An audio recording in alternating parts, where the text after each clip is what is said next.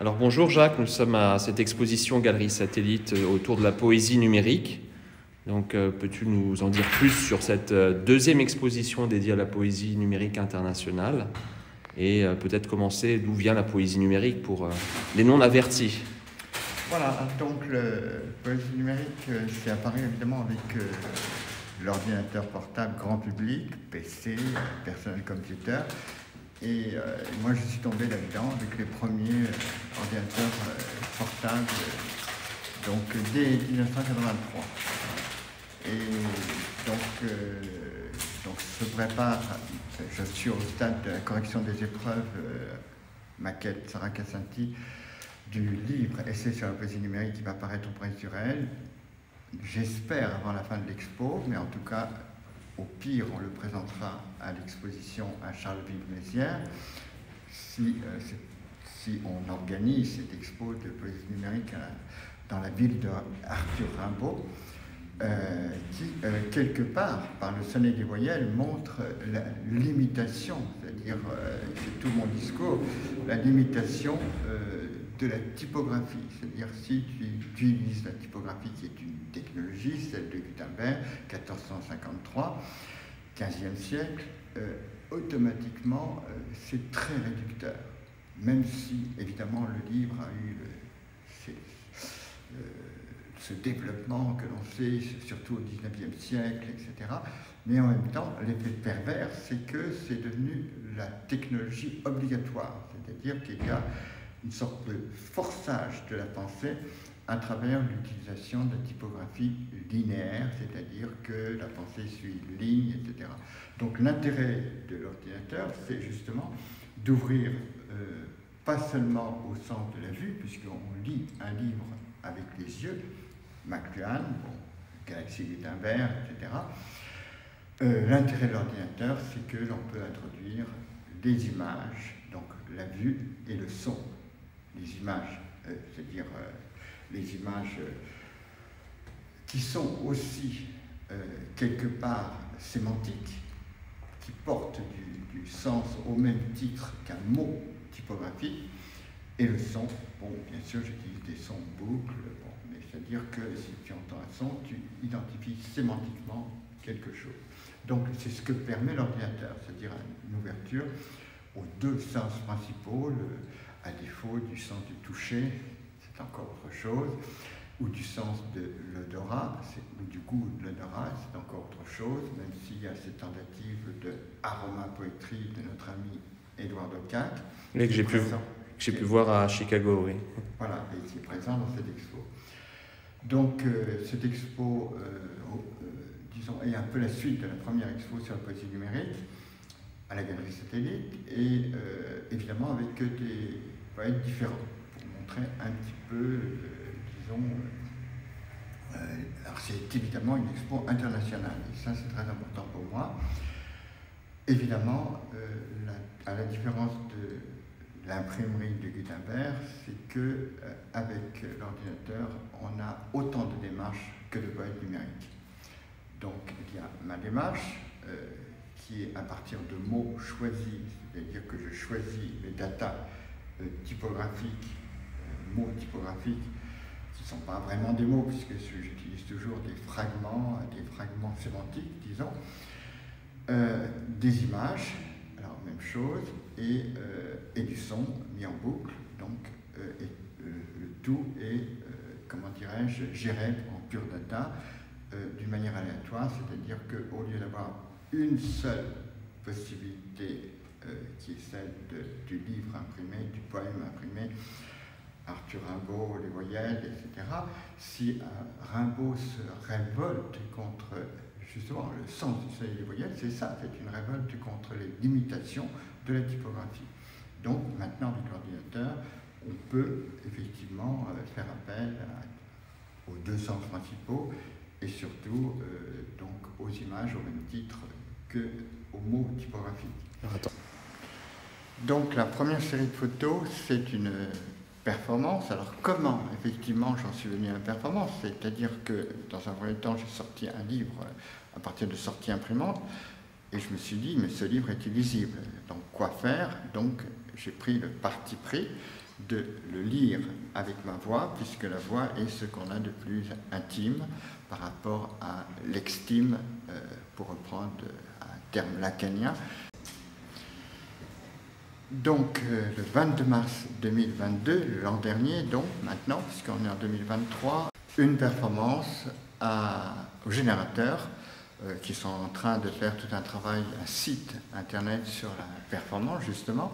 Et donc j'ai été invité et euh, à cette performance où j'ai repris un peu, j'ai surtout travaillé avec, j'ai fait une performance avec, en Pure Data et les photos ont été prises par Bernard Bousquet. Et, et là, l'intérêt du générateur, c'est que c'est un ancien cinéma, donc il y a du recul. Et donc moi j'aime bien être dans les images projetées par euh, l'ordinateur. Et, euh, et, donc là, c'était parfait, parce qu'il pouvait prendre des photos avec tout le recul et prendre à la fois, mais c'est une série. En fait, dans toutes les photos qu'il a prises, c'est une petite série. Et euh, donc, il y a moi et les projections même temps de l'ordinateur. Donc, évidemment, on, se rend compte qu'il y a du texte typographique, qu'il y a des images, mais tout ça apparaît d'une manière aléatoire et on le voit dans la différence entre les différentes images. Euh, parfois même, il n'y a que, que, de la typographie, comme ici. Et, euh, et donc, euh, ça change constamment.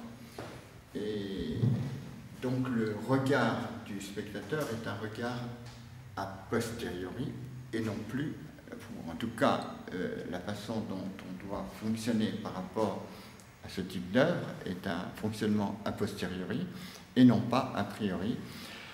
Je termine d'ailleurs mon livre sur la poésie numérique par l'image du doigt, le doigt de Dieu créateur, c'est-à-dire euh, toute la, conception de l'artiste ou du poète au XIXe siècle, euh, donc l'inspiration, euh, voilà, donc le fameux doigt créateur de Dieu à la Renaissance, chapelle Sixtine, au tout début, au tout début de,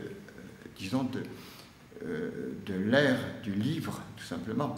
Donc il y a une relation évidemment entre l'apparition du livre et une certaine conception du poète, donc, ou de l'artiste aussi, puisque l'artiste finalement va se réduire à un tableau qui est figé, peinture à l'huile bien sûr, mais euh, c'est le format du livre, c'est-à-dire le format rectangulaire. Alors là, euh, il y a Sarah Cassanti avec Thomas Sarov qui sont intervenus en tant que performeurs. Et euh, il y avait une double projection. Ça, c'est mon travail plus ancien, donc avec l'Atari 520 ST, qui était uniquement typographique. Et donc c'était projeté à la fois au sol et à la fois sur moi quand j'ai fait la performance. Donc, c'est, euh, et pendant toute la durée de la performance, euh, ils étaient d'une manière indépendante et comme il l'explique dans son corps, donc mon âme en chair, donc elles sont intervenues dans le public. Voilà. Alors ça, c'est travail. Donc euh, j'ai mis une série de 1, 2, 3, 4, 5, 6 volontairement pour montrer justement euh, que chaque fois euh, ce que l'ordinateur projette est différent. Mais c'est aléatoire, c'est-à-dire moi-même, donc le choix que j'ai fait est un choix, encore une fois a posteriori, c'est-à-dire j'ai choisi telle image plutôt que telle autre. Ça veut dire qu'il n'y a pas une contradiction entre le virtuel et le, comment dirais-je, le matériel, euh, puisque on peut très bien, à partir d'un fichier numérique, faire euh, une impression, soit photographique, soit, comme ici, photo sur aluminium.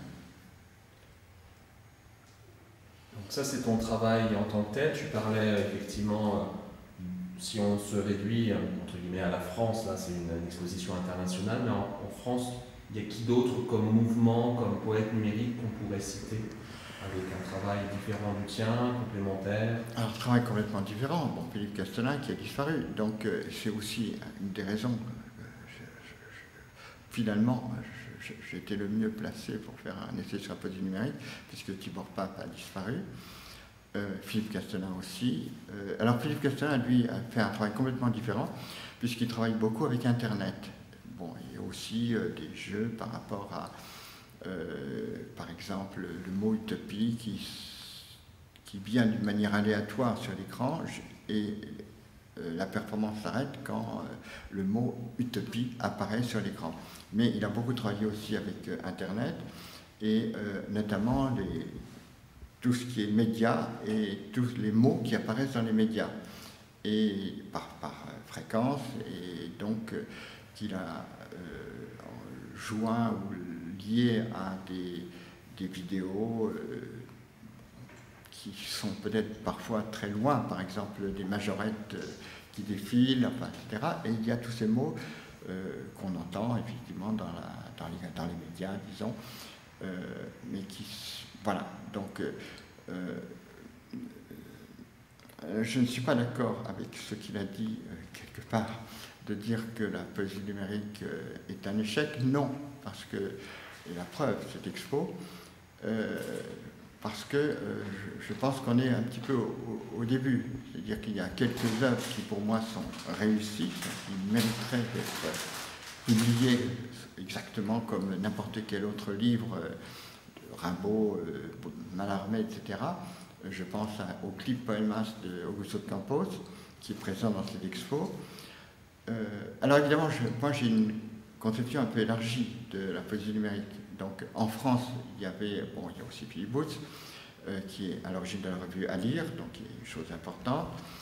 Et euh, donc on est relativement peu nombreux, mais euh, c'est un mouvement international parce qu'évidemment, dès que les premiers ordinateurs portables sont apparus, évidemment, comme pour la fameuse caméra numérique porte-à-pack Sony, les artistes s'en sont emparés dès qu'elle est apparue sur le marché, parce que on n'avait plus besoin de passer par ces énormes caméras de télévision qui faisaient des tonnes et qui étaient sur roulette.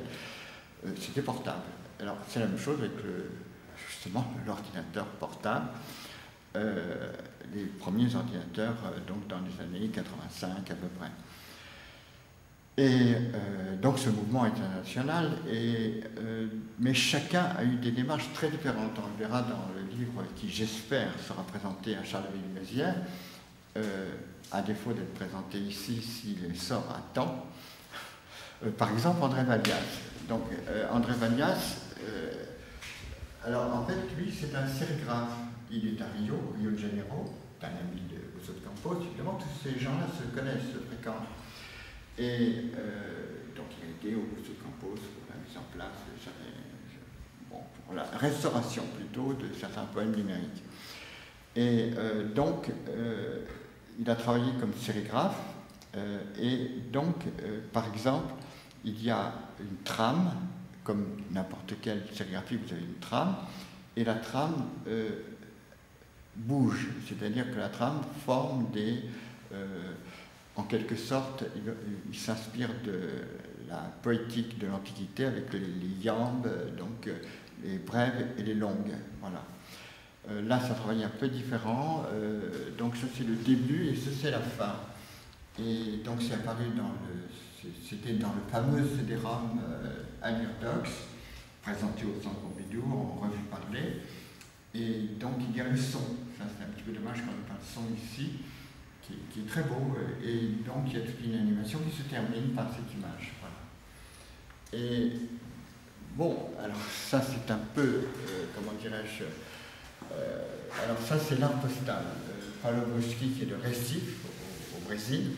Et donc, euh, j'ai tout simplement pris une sortie, enfin, disons, les fameuses cartes perforées d'ordinateur de l'époque, qu'il a signé. Voilà, il a mis le poème il a signé. Voilà. donc, on ne peut pas dire que ce soit vraiment un poète numérique. Alors ça, ça fait partie de Kaisha Preta, et, c'est Hector Tribunal de Souza qui est de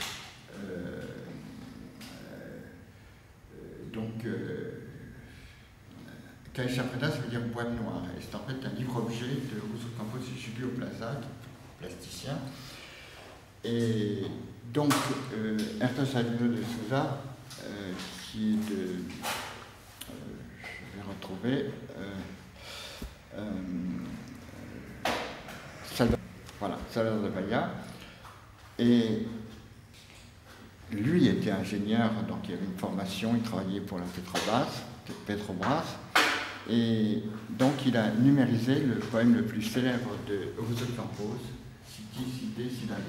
Donc ça c'est dans Cachapreta, donc le livre objet, et euh, à l'intérieur euh, on a euh, la même chose, c'est-à-dire, sauf que là on sait ce que on sait que c'est un poème. On sait que c'est un poème, voilà, c'est Cité, Cité, Sidali. Donc c'est le premier poème qui s'écrit, qui est quasiment infini, euh, et, voilà, lequel il fait, Augusto de Campos fait des variations au cours de performance.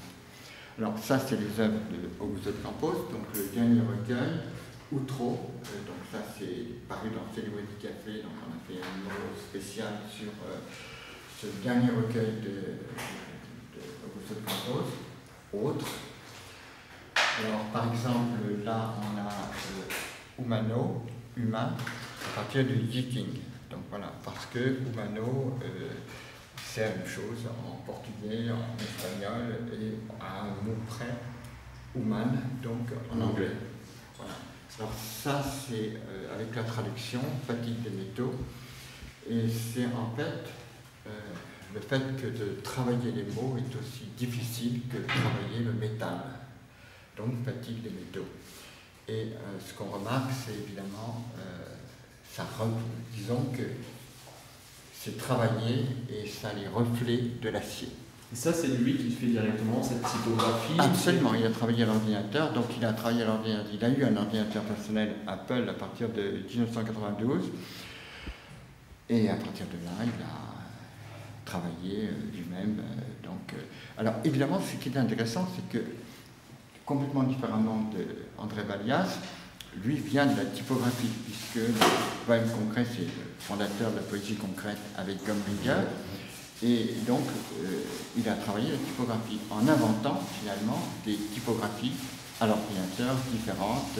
Donc, c'est pour montrer qu'il y a euh, des démarches qui vont dans. Il n'y a pas une seule démarche, c'est-à-dire, bon, même chose, Tibor Pape a fait de la poésie visuelle animée, très bien, et on pourrait continuer. Bon, euh, euh, le seul à, être resté à la typographie, bizarrement, c'est Philippe Booth, avec des, poèmes avec au, final un seul sens. Après, toute une série de manipulations de la souris. Donc ça, c'est tremblement, c'est un tremblement de terre, donc c'est la fameuse phrase quand euh, une aile de papillon bouge au Brésil, par exemple, eh bien, euh, ça déclenche un cyclone euh, aux États-Unis.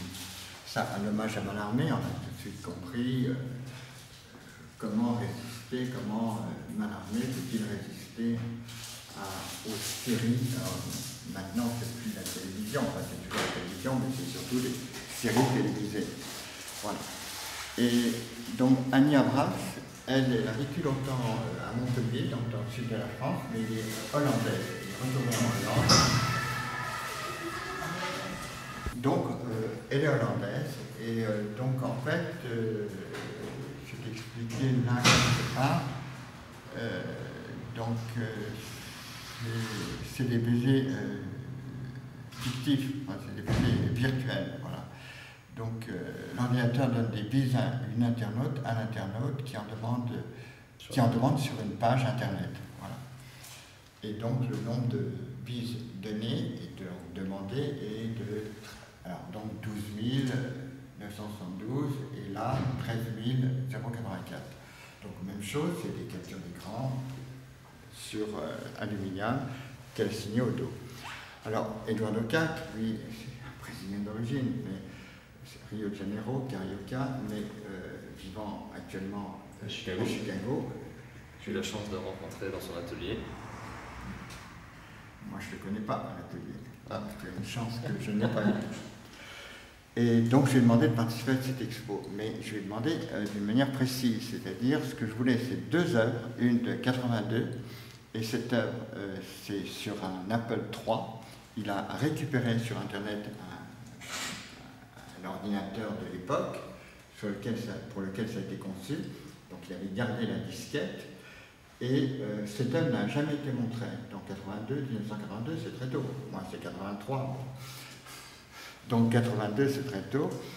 Et euh, c'était très compliqué pour lui, donc il devait travailler sur des ordinateurs euh, qu'il empruntait à des amis, etc. Et donc il a reconstitué le. Alors c'est autour d'un mot, bucaète, et donc c'est un peu un hommage à Malevich, puisque c'est le carré de Malevich, mais donc il y a toute une variation à l'écran avec ce mot bucaète, qui veut dire plume. Donc ce qu'il appelle lui l'art porno. oui, il a sorti un livre dernièrement dessus. Absolument. Voilà. Euh, et donc c'est cette époque de sa vie, et, euh, mais en même temps c'est une œuvre, euh, comment dirais-je, très formelle. Donc à la fois très corporelle, mais très formelle. Et là, j'ai exprès de lui demander la dernière œuvre, et c'est la première fois que se montrait, euh, Donc c'est en fait un petit carré de, à peu près comme ça. Mm. Voilà est fait dans un verre qui est très spécial, c'est le verre de la station ISS, et donc un verre qui résiste au changement de température, c'est-à-dire entre moins 300 plus 500. Euh, je crois que c'est le verre dichroïque, Peut-être, oui. Et c'est gravé au laser. Et donc, ce qu'il a, donc puisque c'est un ce petit cube de verre doit être déposé sur la Lune plus tard. Donc, pour l'instant, il a fait le tour de la Lune avec euh, euh, la capsule Orion, donc lancée par la NASA, et doit revenir sur Terre. Euh, donc il y a le double symbole du temps infini, donc le symbole de l'infini, c'est le temps cosmique, et là on a le symbole du temps humain, le sablier. Et entre les deux, on a le Soleil et la Lune. Non, la Terre et la Lune, excusez puisque c'est destiné à être déposé sur la Lune. Voilà. Donc, euh, et c'est gravé au laser à l'intérieur du, cube de verre. Alors, là aussi, donc, des démarches. Alors là, on peut, c'est pas, pas vraiment une œuvre numérique, mais ça, oui. Voilà, donc il y a eu toute une période de travail avec, euh, numérique de Jean de Il y a même travaillé sur des Minitel. Oui, Minitel aussi, bien sûr. Voilà. Euh, mais Edouard de Cac a travaillé sur, euh, dans différentes directions et bon, un des artistes, un des plus intéressants pour moi aujourd'hui. Voilà. Alors ça c'est vraiment l'histoire, l'histoire Alison Knowles, c'était à l'époque bien avant les ordinateurs portables, donc il fallait passer par des techniciens. Là, à l'époque c'était James Tinet qui était en fait un musicien, donc bon. Et donc artiste Fluxus évidemment, et qui vivait avec Dick Higgins. Ils ont eu des enfants ensemble, donc ils ont mariés apparemment. Et bon, Dick Higgins avait. Euh, ensuite, euh, ils ont vécu euh, en bonne entente, mais un peu séparés. Et donc, c'était pour un livre au départ sur l'architecture. On lui demandait une, intervention sur ce livre de, participer à ce livre sur l'architecture, et d'où euh, les variations. C'est ce qu'on faisait à l'époque à l'ordinateur, c'était des points de variation. Donc, et house, et puis off, et là on a toute une série, euh, tout ce qui est possible, of dust, c'est-à-dire de poussière, euh, of glass, glass, of dishes, broken dishes, underwater, etc., etc. Et là, évidemment, ça se par House of Dust, qui est ce qui est le plus connu. Alors, ce qui est intéressant, c'est qu'elle a enseigné au CalArts, la fameuse école fondée par, financée par Disney en Californie. Et là, elle a reconstitué euh, une house of, et dans laquelle les étudiants, euh, les photos sont dans le livre euh, Poésie numérique. Et donc là, les étudiants faisait des performances, des interventions, etc. Donc le lieu a été vivant. Donc voilà.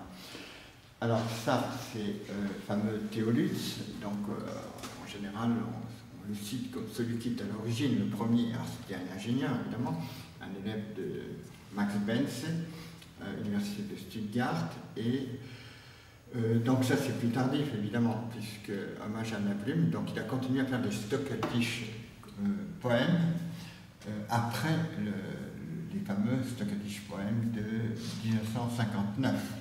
Donc c'est bon, il y a eu d'autres choses, euh, Strachey, enfin d'autres que, je cite dans mon livre, mais euh, euh, disons qu'en général c'est lui qu'on cite, voilà. Et j'étais en correspondance avec lui et voilà. pour mon premier livre, poésie numérique, poésie expérimentale, zone numérique. Alors ça, c'est nouveau. C'est nouveau. Et c'est nouveau. Et c'est une première, exactement comme Atsum, qui est présenté pour la première fois. Donc là aussi, c'est présenté pour la première fois. C'est un projet avec Philippe Boinard et euh, qui avait fait euh, Yadol. Yadol, c'est un personnage de bande dessinée de BFDA. Et euh, j'ai vu ça, la dernière expo justement de Petit Numérique ici, et on pouvait dialoguer un peu compliqué, donc avec un smartphone, etc. Et ça vous répondait. Donc l'idée, c'était, je me dis, c'est génial, donc pourquoi ne pas faire un portrait numérique? Puisque on a utilisé euh, la peinture à l'huile pour faire des portraits, mais la peinture à l'huile, je suis désolé, c'est une technique, une technologie comme une autre. Et on le voit bien avec euh, Léonard de Vinci, euh, la scène, donc les difficultés qu'il a eues pour mettre au point cette technique. Donc, avec le numérique, que fait-on? Alors effectivement, le problème de la peinture, c'est qu'elle ne vous répond pas. C'est-à-dire que, et ça c'est Platon qui le dit dans Phèdre, il dit, bon, euh, à propos de l'écriture, bizarrement, il dit, l'écriture c'est très bien, mais euh, une fois que c'est écrit, euh, on ne peut pas dialoguer. Et, il fait le parallèle, c'est Platon qui fait le parallèle avec la peinture. Vous avez le personnage devant vous, et, le personnage, vous ne pouvez pas interagir, vous ne pouvez pas lui poser des questions. Vous avez l'impression qu'il est là, mais en fait, il n'est pas là. Donc, avec la, technologie, les technologies de, numérique, du XXIe siècle, on doit pouvoir interagir avec le sujet représenté. Et c'est l'idée. Alors là, c'est en cours, donc euh, ça sera peut-être au point euh, à la fin de l'année. Enfin, c'est ce que on est en train de... de la digitalisation de mon modèle qui est Jacques Daumier. Donc ça c'est une démo, démo. Et donc on pourra lui parler. Voilà. Je suis une voix artificielle. Donc évidemment, ce message... La poésie visive est une persuasion esthétique contre la persuasion stéréotypée du sens commun. Bon, il a repris évidemment des textes de moi, et tout ça, c'est aussi des textes que je lui ai envoyés, donc euh, il a mis sur j'en enverrai d'autres. Ça, c'est un prototype. Hein. C'est un prototype, voilà. C'est en cours, disons, voilà, en cours. Un enregistrement original et passionnant. Il s'agit d'une trace de vie. On est bien d'accord. La création artistique est reliée au rôle particulier des découvertes technologiques. Alors, en fait, il, a, il m'a euh, filmé, enfin, donc c'est une image en 3D, c'est-à-dire qu'il y a eu le, le logiciel donc, pour faire la, 3D. Et euh, le problème, On entend par poésie expérimentale toutes les recherches sur le langage, par opposition aux poésies par héritage. Le problème, c'est l'animation des lèvres, des yeux et du visage. Par chance, en 2021, il y a eu un nouveau logiciel qui permet... La fragmentation, la spécialisation, la réduction ne sont pas neutres. Elles entraînent des instabilités textuelles. Donc, euh, avec ce logiciel, on peut, en fonction de la voix, euh, animer le visage. Avant, c'était très compliqué parce qu'il fallait euh, que le personnage dise un certain nombre de syllabes et en fonction de cela, donc par approximation, on avait la possibilité. La zone numérique, c'est la fin de l'inscription, la fin de la sacralisation du texte, la fin du texte sacré. Alors, donc là, c'est une petite démo. Alors de temps en temps, il y a des images, évidemment, des, mots, évidemment. Voilà. ça c'est des œuvres anciennes qu'il avait déjà montrées, il avait remontré très bien. ça c'est des Fukushima, voilà, mais il avait déjà montré. Alors ça c'est des choses nouvelles. Et qui toujours sont Philippe Boinard. Toujours Philippe Boinard. Et euh, ce qui est, bon, c'est 2022, donc c'est des œuvres très récentes. Et donc l'idée, c'est que si vous faites un mot sur Internet, vous avez des images. Donc c'est là-dessus qu'il a joué, c'est-à-dire, euh, voilà. Et alors la deuxième chose qui, l'intéresse, c'est euh, l'archéologie du futur, c'est-à-dire euh, qu'est-ce qui se passe, quelles traces on laisse dans le futur.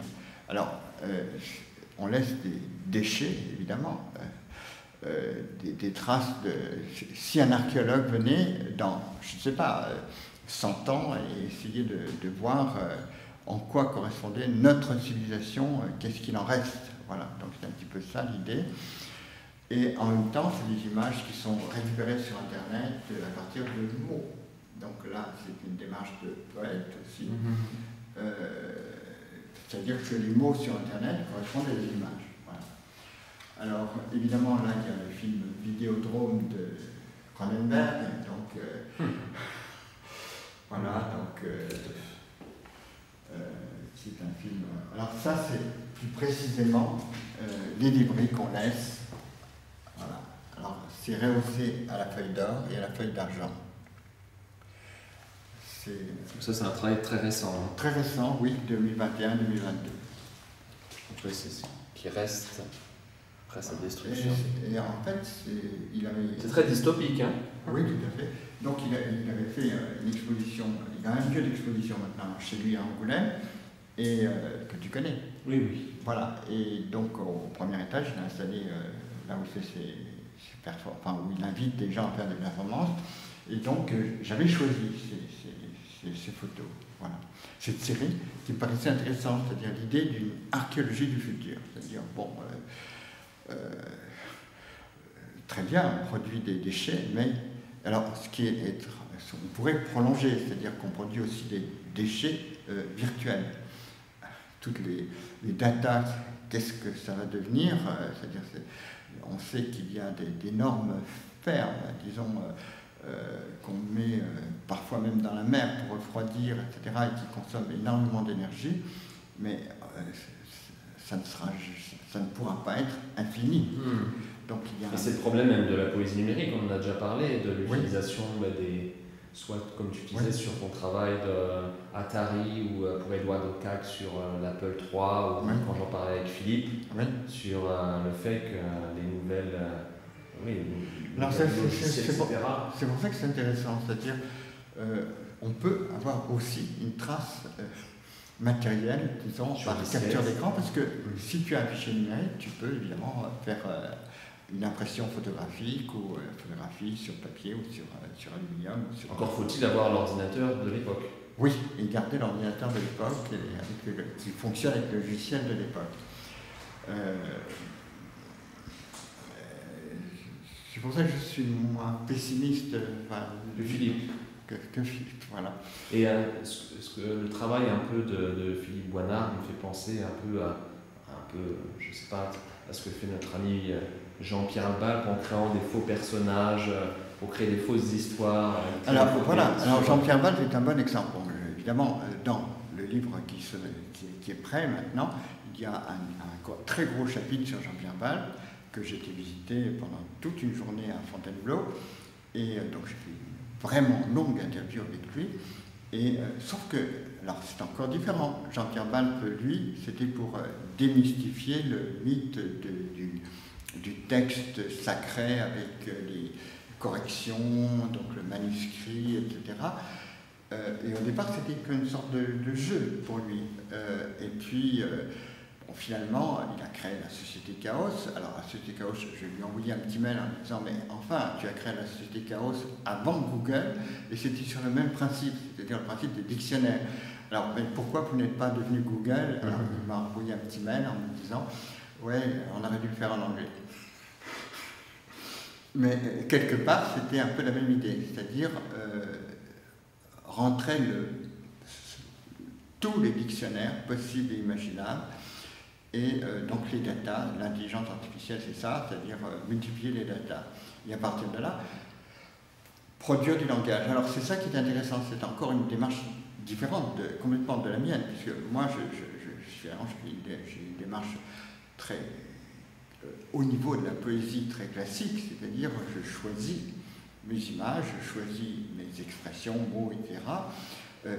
Pas différemment d'un malarmé qui choisit le mot tix, par exemple. Bon, mais ce n'est pas le cas de Jean-Pierre Valp. Jean-Pierre Valp, son idée, c'était de, de, de, de. Bon, maintenant, Génération automatique. génération de texte, travaillé sur la génération de texte très tôt. Bon, maintenant, on sait que ça fonctionne puisque les traducteurs fonctionnent à peu près. Euh, et, euh, et donc, il fait. ses Alors, euh, actuellement, il demande à, à- à d'autres personnes de- d'utiliser euh, euh, sa génération de texte pour faire des textes. Enfin, donc, euh, il est dans une problématique, disons. oui, c'est personne n'est éternel, donc qu'est-ce qui va rester? Donc il essaie de, que d'autres personnes prennent le relais pour euh, développer des, que ça fonctionne sans lui. Quoi, voilà. Euh, mais euh, euh, là je suis très, très long et très précis, j'utilise beaucoup.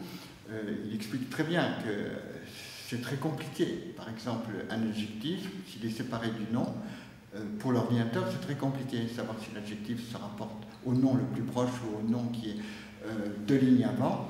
Euh, voilà, et au niveau de la grammaire aussi, alors ça je l'aborde aussi effectivement, au niveau de la, grammaire, évidemment, il n'y a pas trois groupes de verbes, il y a euh, 120 groupes de verbes. Parce qu'il faut tenir compte pour l'ordinateur de tous les variantes possibles. Donc, euh, ça, change complètement le. Donc, d'abord, ça invalide complètement les grammaires génératives de, je ne sais pas, de Greimas, de, de Chomsky, Noam Chomsky. Euh, Ça n'a aucun sens, c'est pas programmable. Chomsky n'est pas programmable. Bon, très bien. C'est Jean-Pierre Ball qui le dit, c'est pas moi. Et, euh, et voilà, donc euh, il faudrait refaire la grammaire à partir de la génération de texte à, l'ordinateur. Voilà. Et, donc, euh, le problème de la, génération de texte à l'ordinateur, comme il le dit, c'est le sens, la sémantique. Parce que nous, quand on entend un mot, on bascule, il y a tout l'univers qui autour de ce mot, enfin la fameuse phrase de Mallarmé, développement de Mallarmé autour d'une fleur, etc. Donc euh, voilà, mais ce n'est pas le cas de l'ordinateur. Il faut expliquer tout le contexte.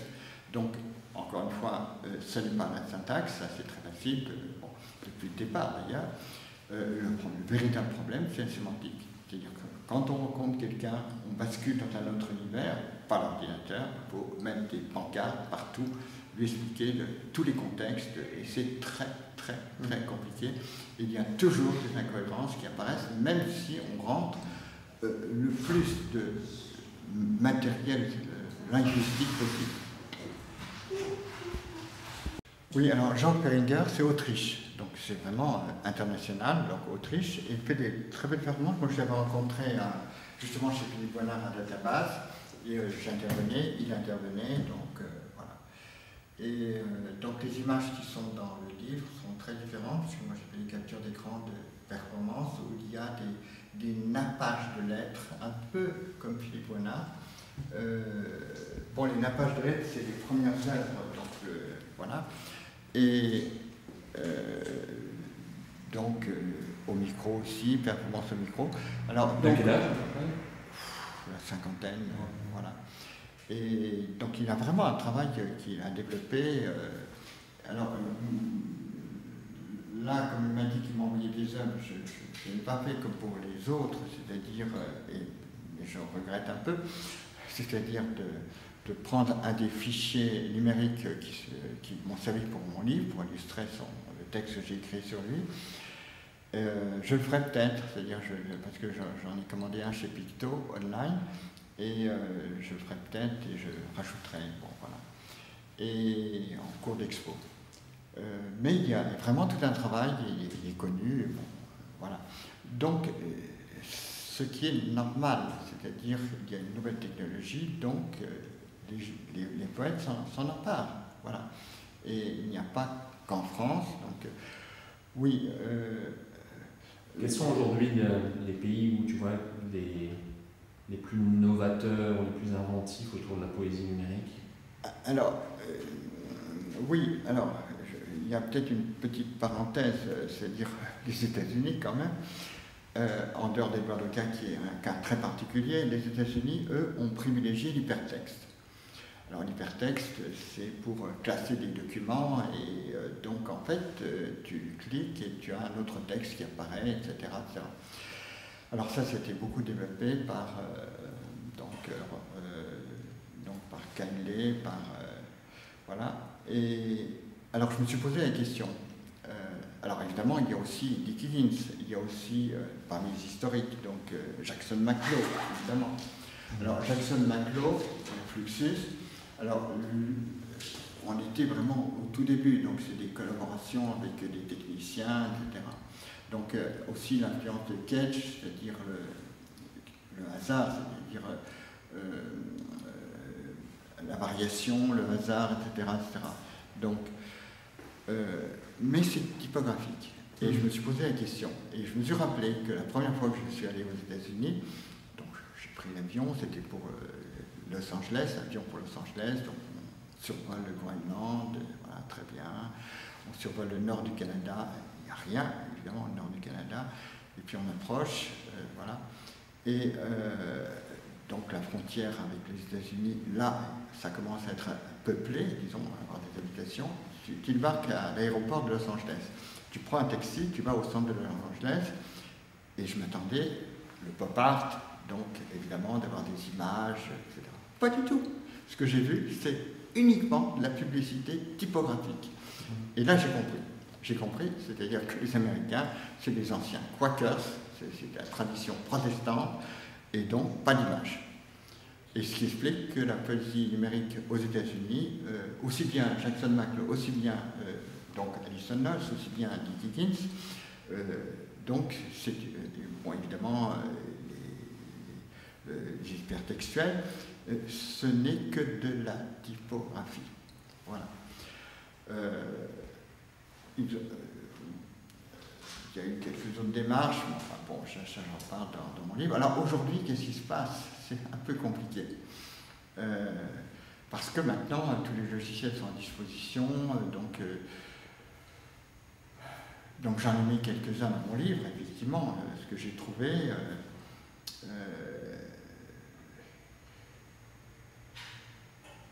Euh, je pense que ouvert, mais euh, il n'y a plus cette, euh, comment dirais-je, cette fraîcheur de la première démarche. Voilà. donc il y a toutes sortes de démarches, par exemple en Angleterre, donc c'est une espagnole qui vient en Angleterre et qui fait les oiseaux, les oiseaux qui chantent, par exemple. Donc c'est bien, c'est beau.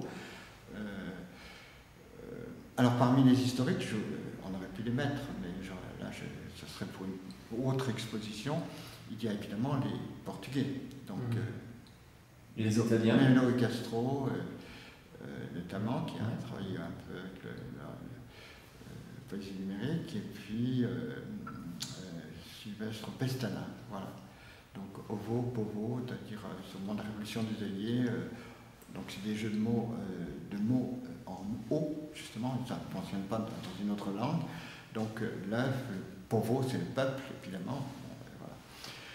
Et euh, donc il y a aussi un travail à la fois théorique et, euh, et des œuvres produites par les Portugais. les Italiens, avec leur, la poésie visiva, donnaient... Ben justement, peut-être que la poésie visiva a été tellement importante en Italie qu'il y a moi je ne connais pas euh, d'Italiens ayant pratiqué la poésie numérique, euh, mais c'est à cause peut-être de la puissance de la poésie adhesiva en Italie. On va terminer l'expo par oui, dernières œuvres. Costis, donc euh, Costis, oui, alors je vais demander en quoi bon, on voit que c'est fait numériquement, mais enfin bon, voilà. il est surtout connu pour son travail sur les foudres, donc des foudres artificielles. voilà. Euh, mais c'était euh, des œuvres euh, qui me paraissaient, comment dirais-je, esthétiquement intéressantes. Voilà. Et évidemment, le livre qu'on avait sorti, c'est le Café numéro 03, donc on a Outro, ça c'est en fait la couverture du livre au Brésil, et donc, alors évidemment, il y a toute l'histoire. Bon, c'est très intéressant en fait la préface. Autre nom, Outro Now. parce qu'il évoque un texte que je ne connaissais pas, un texte de, euh, de Walter Benjamin de 1928 et qui évoque, et ça peut terminer peut-être l'interview, dans l'avenir, a-t-il prédit, avant qu'on ait ouvert un livre, surgirait sous nos yeux un tourbillon de lettres mouvantes colorées en désordre, nuages de lettres sauterelles. Les opportunités du monde du livre seraient réduites au minimum. Voilà. Merci Jacques.